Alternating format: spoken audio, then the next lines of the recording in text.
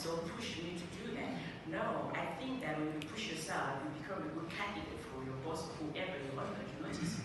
And so instead of waiting for someone to tell you, you know what, I think you need to upskill, you can do that on your own.